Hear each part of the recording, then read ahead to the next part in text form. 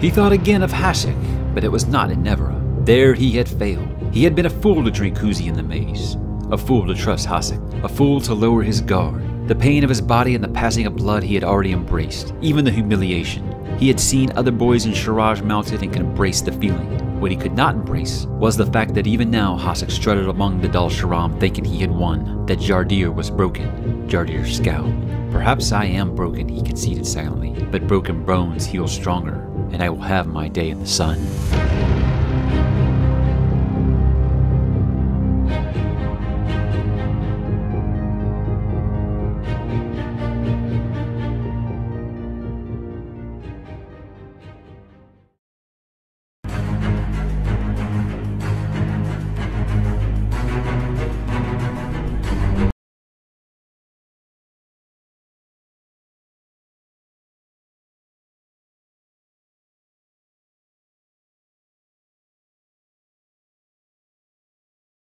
Hey, what's up, bookworms? Mike here, and today we are talking about Book 2 of the Demon Cycle, The Desert Spear by Peter V. Brett. Uh, I have all kinds of opinions about this book, and they are mostly based off of other people's opinions about this book. Uh, if you if you watched my video for uh, The Warded Man or The Painted Man, whichever version you got, uh, which is book one in this series, uh, I'll put that up here for you to, to watch if you didn't.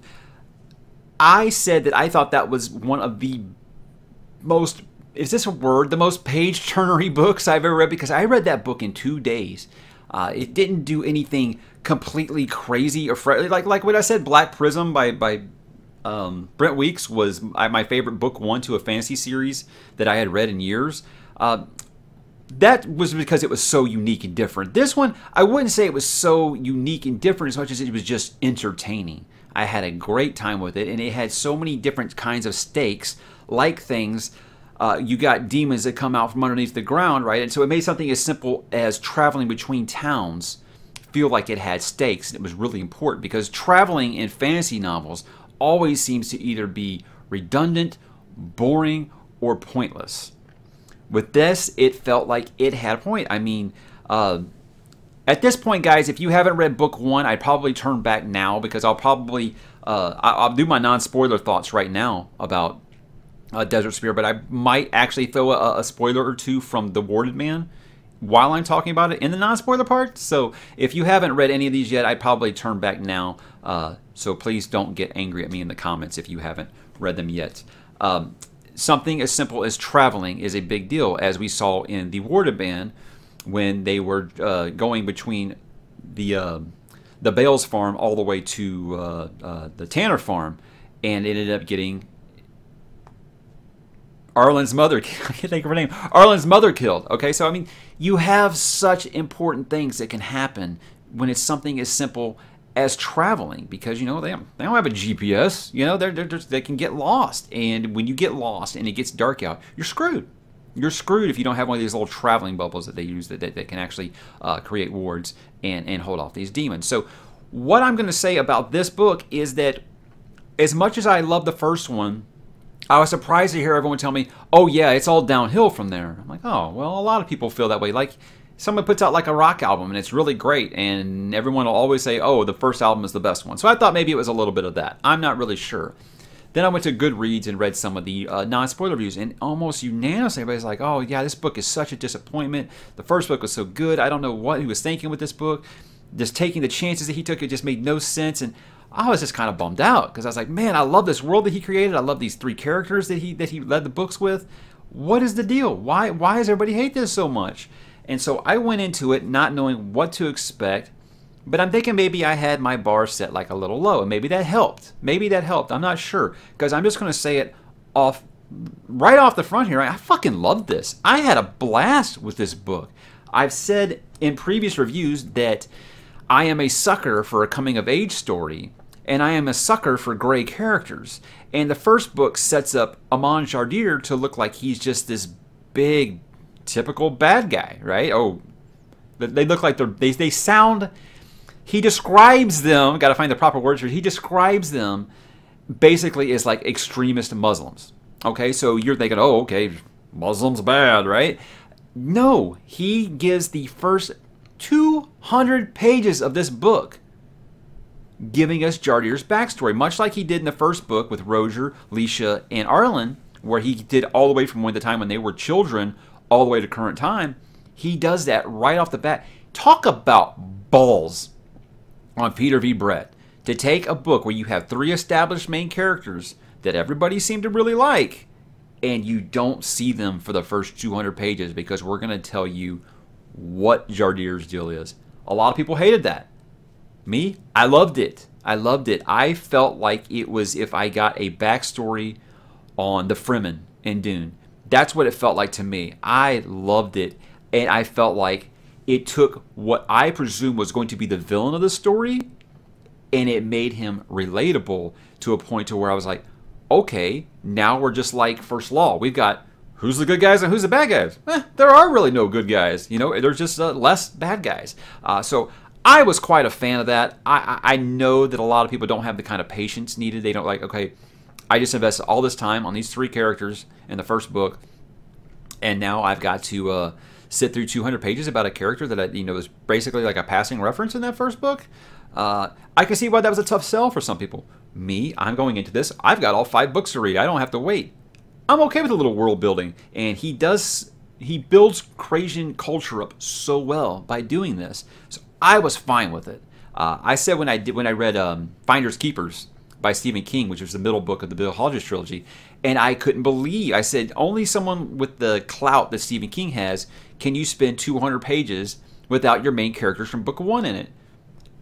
I feel the same way about this one. I was like, dude, this is this is his second book, and he's doing this. So yeah, it was a hell of a risk by him, but for me, it paid off. For me, it paid off.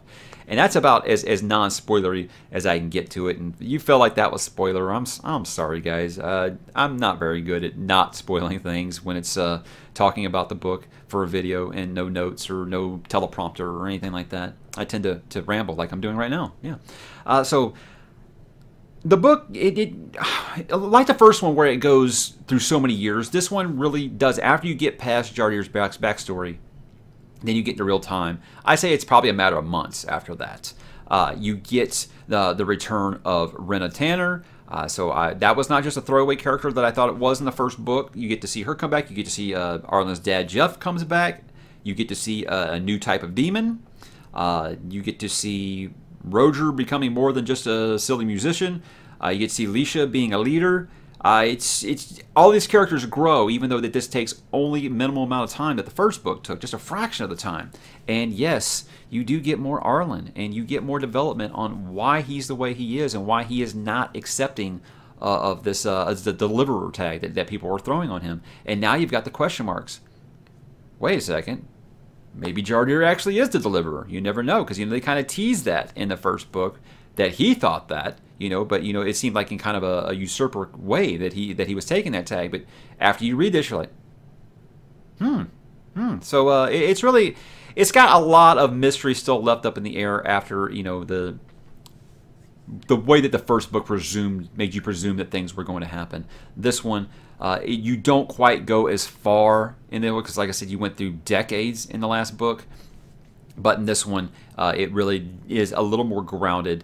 Uh, it builds the world really well, but it, it, doesn't really, you don't really traverse as far as you did in the first one. And I'm going to get into spoilers now. So uh, if you feel like I've already spoiled stuff for you, like I said, I'm sorry. I'm, I'm trying, guys. I'm kind of doing this as I go here. Uh, I think that they, there's nothing that I said that's going to spoil the story for you, really, just it, unless it's just prepared you that the first 200 pages of the book are going to be about a, a, a, minor character from book one. And in my opinion, it pays off. It pays off really, really well. So I'm going to get into that now. So, guys, if you have not read uh, The Desert Spear, pause, come back after you read. Or if you just don't care, I don't know why you'd be even watching this, but if you are, hey, uh, you've been warned. Uh, so here we go. I'm going to break this down into uh, to characters. I find that that's the best way to do these reviews. I, I said in the previous video that uh, I, am doing kind of a new format where I'm going to kind of start to shorten these reviews a little bit because I felt like they were getting a little overly long and I was starting to neglect actually doing them because of the time that it took to do a lot of them. So what I'm going to start doing is I'm just going to do like I did with Lightbringer. I'm going to talk about a character and talk about their arc through that book instead of going beat by beat with the plot. Uh, so let's begin with Amon Jardir because he is very much the main character of this book. I mean, he's on the cover. That should be your first indicator. That's our man Jardir. And I say our man Jardir because in the first book, like I said, I thought he was just your typical villain. Oh, brown people bad or something. And, and I see that that's why why Peter V. Brett got a lot of flack for that book for for coming off that way. This shows he had a plan. Okay, he gives such an in-depth and intrigue. This is about a guy who overcomes all of the fucking odds to become the man. You know, to become the leader of the Krasian people. And it's such believable growth in just 200 pages. He goes from a slave to being the man. I mean, that's that's what's who doesn't want that story in a in, in, a fantasy novel? Who doesn't want that? And I think the fact that it shows it goes all the way through the years to where it intersects with book one, where he where where, uh, where uh, Jardir and Arlen are actually together at the Desert Spear, and when Jardir betrays him, it's like, ah, you bastard, you know? This showing that they were actually friends. They actually developed a long term friendship. It made his betrayal mean so much more in hindsight that now what just seemed like, oh, yeah, your your inevitable betrayal, you know, it, now it makes it seem like, man, that was a fucked up decision, man. So uh, it had a great, great payoff. Uh, his, God, I forget the Abban. Abban was uh, was was Jardir's friend, who uh, he basically befriends and and and defriends more than once in this book. You know, because it's a warrior culture, and if uh, you aren't down with being a warrior, you're just considered lesser less of a man. So he wants to be like a merchant, things like that. So they have a really really messed up relationship that kind of goes back and forth. Uh, it deals with multiple wives and stuff like that. And look, guys, if you're easily triggered and I hate to use that word because I feel like triggered is such a buzz phrase now. But if you're easily triggered by certain types of tropes and events, this is not the book for you. Because the Krasian people come off as very misogynistic, because warrior cultures mostly are. Uh, there is sodomy, there is forced incest, there is rape, there is lots and lots and lots of things like that in this to where if you are putting on the 2019 I'm offended goggles, you're not going to like this book. And I think that might also be a reason for a lot of the negative reviews in uh, on Goodreads. And I- I've said time and time again, guys, yes, if this was a book that's taking place in 2019, yeah, that's probably messed up. But when it's medieval times and a warrior culture, yeah, it's unrealistic not to have those things. So, again, go into it expecting that, and you'll be fine. Uh, but Jardir, he uh, it, he inevitably he after he gets everything settled, he wants to conquer the, uh, the, the the wetlanders, as they put it. So when he actually starts going through some of these places and taking over some of these towns, and then he meets Leesha, and as we all know, everyone loves Leesha, right? Everyone falls in love with Leesha, and he's no exception. He actually wants to make her like uh, his wetlands version of his wife. Uh, she's clearly not interested in being another wife, uh, but uh, she does do the hokey pokey with him. So uh, that's what I'm going to say. I've got kids, guys. I, I try to I try to find code words, and sometimes they slip out. Like one day at work, I asked my supervisor it was okay if I went potty. So um, yes, this happens when you have kids, guys. So. some of those do kind of leak out when you do live video. Uh, so yeah, she does. She, she is intimate with him, and and she does seem to be interested in him, but she's not interested in being like his you know 19th wife, and, and, that makes that makes that makes sense for her growth. But but the fact that he's so smitten by her to the point where he's ready to pick him over her his long term wife uh, it, it is quite something to say. But um, let's talk about Leesha here, and I'm going to be honest up front. Uh, even though I said I don't like those trigger words, uh, another phrase that I find in, inevitable at this point is is Mary Sue. And let me tell you something about Mary Sue's guys. Yes, I don't like them, but I don't like Gary Stu's either. I don't like perfect characters in books. I like characters that make mistakes, characters that get captured, characters that need saving, characters that don't always make the right choice, characters that aren't always beautiful. I like these things. I like depth to my characters. That's why I like Kip so much in Lightbringer because he's just a dude. You know, I like that. I don't like I don't like Mary Sue's. I don't like Gary Stu's. Whatever you term you want to call them, I don't like perfect characters. And Leesha is in danger of becoming a perfect character. Why? Well, let's see here. She wards better than Arlen. She does uh, medicine better than Bruna. She's a better diplomat than Rojer. I mean, everything this girl does, she's the best at. Everything. And I still like Leesha. Don't get me wrong. I just think she's in danger of becoming that character. Oh, she's so beautiful. Everybody's in love with her. It's, it's got all. Go to the Wikipedia page and look up what a Mary Sue is, and I bet you about nine out of the ten facts it has on there. That's that's that's dangerous territory for me. So uh, I'm hoping that trend don't continue because right now it's like Mary Poppins. She's starting to be practically perfect in every way, and everyone wants to get with her. So uh, I'm hoping that that's what she does in this book. She's practically perfect in every way. Um, with Rojer, uh, I said I felt like he got a little bit more character development. Not really. Uh, he's just kind of there. Again, he pines for Leesha most of the book. Uh, he's trying to teach his musical ability to others, and he just can't seem to be able to do it. His music is the only one that seems to be able to repel these, or not really repel as much as it just like makes the demons timid to where they won't attack them. Uh, kind of puts them under a spell. Um, you know the, the the clans that are coming in from Krasia trying to get him to, to, to have a wife and stuff like that. So they're they're trying to get in good with these people, but again, as far as like what Rojer does. Just like the first book, I like Rojer. He just doesn't quite do very much, you know. And I mean that's fine. He, he's good. He's there for the to break the tension. Sometimes uh, he gets a little bit more uh, closure about the the way that his, that his, that his parents died, and things like that, and, and the way that. Um, gosh, I should write these names down. I really should. The guy who basically raised him, he got some closure about with his death, things like that. So he had a little bit of an arc in this book, but as far as like, hey, remember when he did this, this, and this? No, not not a lot in that. Uh, him and Leesha kind of had a come to Jesus meeting, and, and, and, you know she made him something out of that doll for. I'm sorry, guys. I should write this shit down. I'm sorry.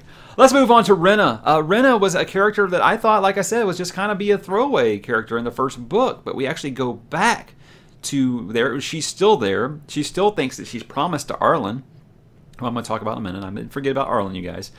And you know she's still there, but now she doesn't have uh, her sister there. To, her sister was actually the one uh, who was being molested by their father, and she was surprised it actually hadn't happened to her yet, uh, because they had other guests in the house. And then after those guests were leaving, uh, sure enough, she starts getting scared. She used to bar her door at night. Now her dad's like, "Oh, we ain't got guests anymore. You don't need this bar anymore." So uh, she knows it's inevitable, and of course it happens, and it's very disturbing you know, and uh, she she finds uh, this boy Cobie, I think his name was, and they want to get married, but of course father ain't having it, uh, just because because he thinks that they're getting it on before they're married or something like that. But we know it's for completely selfish reasons. Uh, you know, he can't handle the farm by himself. He and he wants to do what he does. You know, he's a real despicable character, so that's why when she stabs the shit out of him, I'm actually like fist pumping. You know, after he uh, stabs Cobie in the junk and, and actually kills him. Uh, so that was one of those where I was like, yes, you deserve to die, you rotten piece of shit. So uh, uh again, if you're easily offended, that's one thing. But trust me, it's going to have a real, a real big payoff to where you'll feel a lot better about it. And you know, a lot of the book deals with her being on trial with the people of Tibbet's Brook, and then being too much of cowards to see what actually happened because no one wants to actually step up until Arlen shows up and saves her and basically does the you know let he who is without sin kind of thing go at them, which kind of furthers his deliverer deliverer uh, title that, that that's been going on. Arlen in this book, he actually does go back to uh, and, and, sees um, Ragen and.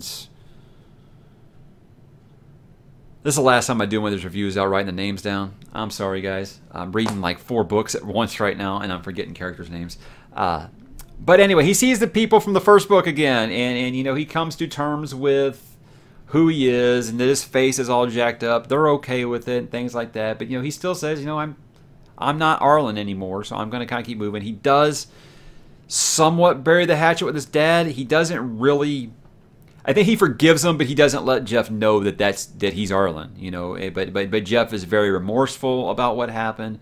Uh, he's got a new family now and he's much more brave now. And he says, you know, just because you know I'm happy in my lot life right now doesn't mean I don't miss my kid and my wife and things like that. So, somewhat of a redemption story for Jeph. I, I appreciated that, but um, I think that there's always going to be a, a room for redemption for certain characters unless you're like Kylo Ren, you killed Han Solo, and it's like no, there's no coming back from that. So don't even try it.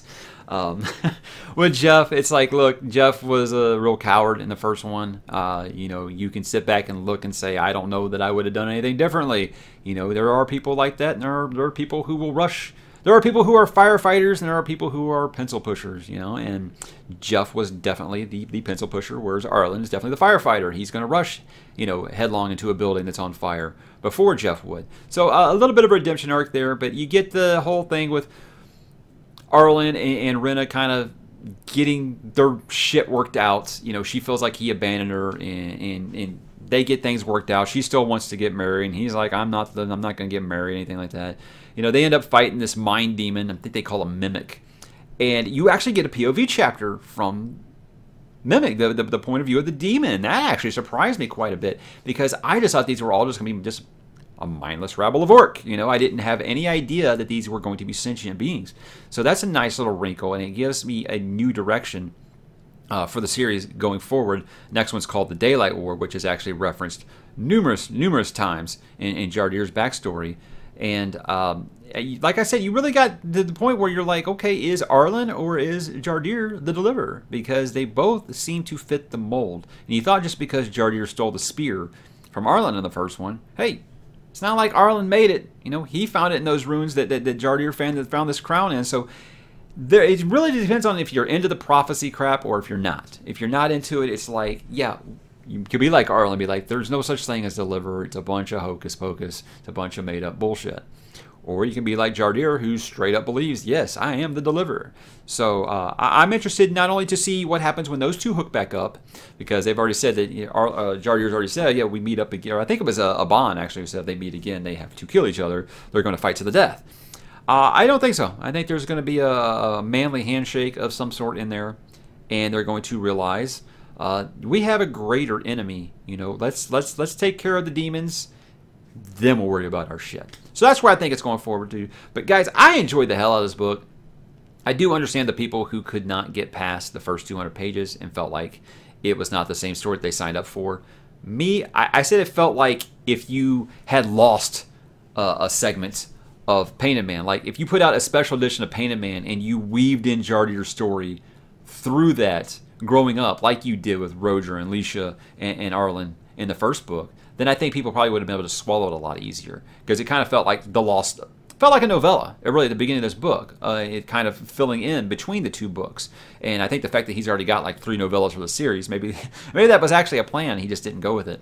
But uh, once it's past that i feel like it was every bit as good as the first book doesn't sound like a lot happened but it's really it feels weird to have what feels like a setup book in book two but i think this one was like dealing with a lot of the issues and a, a lot of the problems that propped up in book one. So now we get to actually go full speed ahead with Daylight War uh, headed into Skull Throne and finally the core.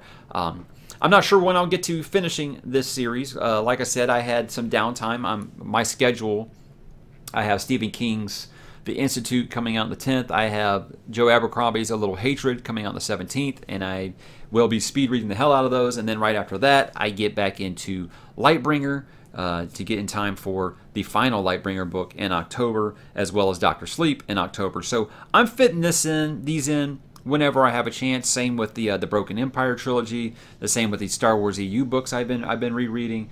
And you know, guys, don't worry about the Star Wars EU books. Those are something that are like those are like 300 pages. You know, those are just hey, I've got 10 minutes on my hand. I can read 25 pages, and yeah, that's just that's just whatever. I, have I've I don't know if you can see them. I, have read about 60 Star Wars EU books, and I, it's just a reread thing. So it's not like it's anything that I'm.